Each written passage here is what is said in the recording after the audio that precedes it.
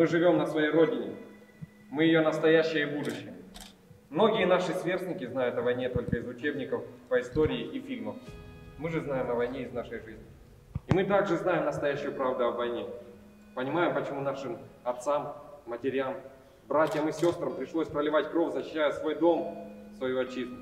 Мы гордимся подвигу наших дедов и прадедов, которые защитили нашу Родину.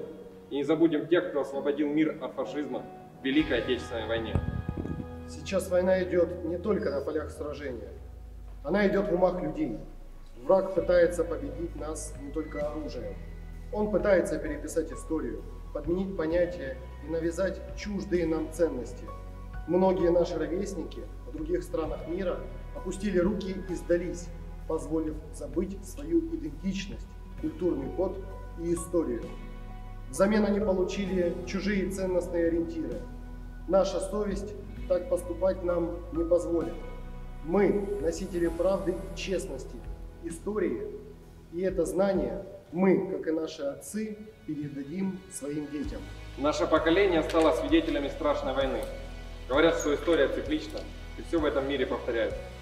И вот спустя меньше века нам, молодому поколению, приходится защищать память о Великой Победе от подлой клеветы врагов. Мы не позволим им взять верх. Мы будем с гордостью нести историческую правду фронтовиков и тружеников тыла на глазах у всего мира. Ведь именно они, ветераны войны, принесли этому миру великую победу. А мы, приняв эту эстафету, с честью пронесем ее следующим поколениям, не позволив никому переписать историю. Мы ответственны за развитие нашей республики. И именно мы уже сегодня должны укреплять ее государственность и определять политику. То время, когда многие наши сверстники аполитичны, не считают себя ответственными за дальнейший путь своей страны, мы не можем стоять в стороне. Молодежная политика должна быть во главе угла прогресса, так как она нацелена на будущее. Настал момент, когда все больше молодых людей понимает, время от меня ничего не зависит, уже ушло. Настало время, будущее зависит только от меня. Молодежь – это позитивная сила развития, делающая мир другим. Мы русские. Донбасс имеет свою стратегическую развитие и курс. Он был, есть и будет оплотом единого и неделимого русского мира. Нам никто не может навязать, на каком языке нам говорить и думать. И мы должны встать на защиту всех русских, которые подвергаются дискриминации по языковому и национальному признаку. Мы обязаны сохранить свою историю, защищать культурное наследие русского народа, его аутентичность и традиции, а также всячески приумножать их и популяризировать.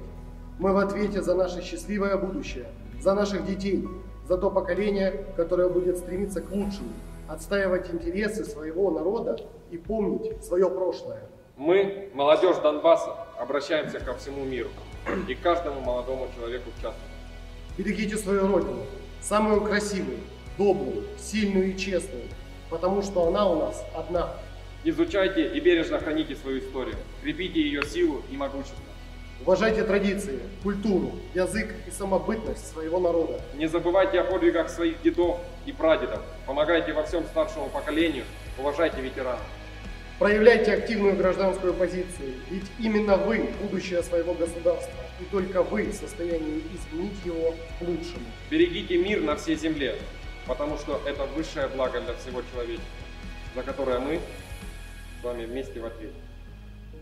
Мы также обращаемся к молодежи Украины и призываем их задуматься над своим будущим, разобраться, по тому ли пути развития их ведет нынешняя власть, является ли она властью в принципе, за какую цену они продают свои ценности и идеалы, и что получают взамен. Призываем молодежь критически мыслить своим умом, а не умом политиков, находящихся под внешним управлением. Сейчас наступил тот момент, когда нужно ответить на вопрос – верен ли тот путь, которому вы следуете. Только решив это, вы либо добьетесь успехов, либо растеряете все, что имели. Мы, в свою очередь, знаем, что в будущем поколении и именно от нас зависит, в каком мире мы будем жить.